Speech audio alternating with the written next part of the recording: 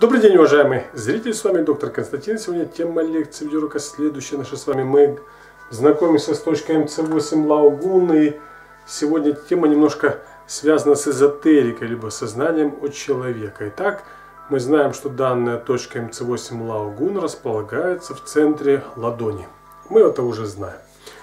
Но, согласно восточной философии, мудрецы Востока нам донесли, что левая ладонь принимает энергию, а правая ладонь отдает энергию. То есть вот такой вот обмен, круговорот в природе. И мы уже знаем на сегодняшний день, что хиромантия, учение о руках и о линии на руках, многое что говорит людям, о, о человеке, либо о людях. Если прочитать их грамотно, без всяких, скажем так, прогнозов на будущее. Почему? Потому что на сегодняшний день очень сильно знания искажаются. Чтобы они не искажались, пожалуйста, уважаемые зрители, помните, знания должны, даны э, нам для того, чтобы мы развивались, а не узнавали будущее. Итак, сегодня наша речь о рукопожатии. Это чаще всего касается мужчин, но женщины тоже некоторые любят пожимать э, руки своим друзьям, женщинам. Вот. Но чаще всего это относится к мужскому полу. Итак, мужчины, вы уже услышали, что правая рука отдает энергию. И когда мы, мужчины, здороваемся друг с другом рукопожатием, то, конечно же, мы протягиваем руку и что? Можем отдать часть энергии. Здесь я немножечко забегаю наперед и скажу, никакой здесь э, порчи никто вас навести на рукопожатие не может. Сразу говорю. Но помните, что рукопожатие это жест, который вы должны сделать так, чтобы вы даже могли заявить о себе, если вы отдадите энергию тому человеку, который будет пожимать ваш, вашу руку. Почему? Потому что вы не знаете, кому вы подаете руку, и может человек э, саморазвивается и, посмотревший данное видео, сможет, скажем так, даже прочесть вас. Итак, что же может, о чем может поведать рукопожатие? Рукопожатие, прежде всего, может поведать о том, какой человек – какой силы, воли, характера, черты его, какая мощь в нем, какая энергетика в нем присутствует. Вот. Можно обратить внимание, как мужчина подает руку, подает он ее вяло, расслабленно, уверенно, неутвердительно, скажем так, как-то побаиваясь чего-то. Вот.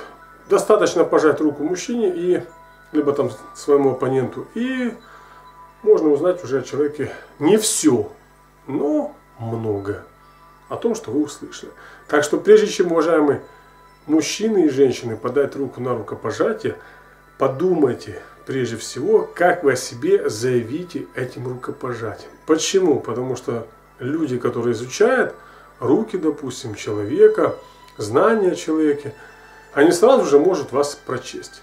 И поверьте, сразу человек прочтет о вас больше негативного, чем позитивного и попробует, попробует либо постарается вас ударить там, где именно хозяйничает негативно. Потому данная лекция прежде всего укрепляйте свою энергию, вот, скажем так, пополняйте свою энергию, свои знания. Также укрепляйте свою энергетику. И тогда при любом рукопожатии человек, прежде всего, что сможет, скажем так, увидеть в вас личность, состоявшуюся личность, личность с энергетикой, которая, скажем так, живет в вас. Вот такая простая лекция, которая может все-таки раскрыть огромнейший потенциал человека. Это даже, можно сказать, своеобразный элемент ясновидения. Но помните, уважаемый зритель, никогда не злоупотребляйте там при рукопожатии, войти там в какой-то транс, почувствовать там, какая энергетика бежит там по рукам, либо как э, пошла через ладонь холодно, либо тепло. Не надо этим заниматься. Я вам просто советую, не увлекайтесь.